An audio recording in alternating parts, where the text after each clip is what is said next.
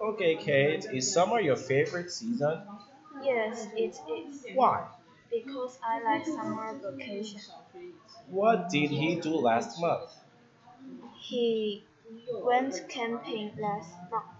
What will she do next week? She will she will go hiking. What did they do last month? They went fishing last month. What did you do last summer? I watched I watched TV last summer.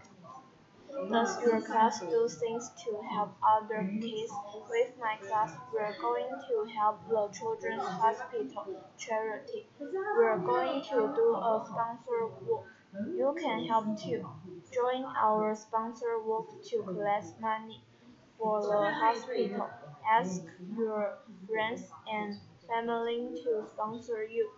They means they must promise to give you some money for every mile of the walk. You give your sponsor money to the Children's Hospital charity.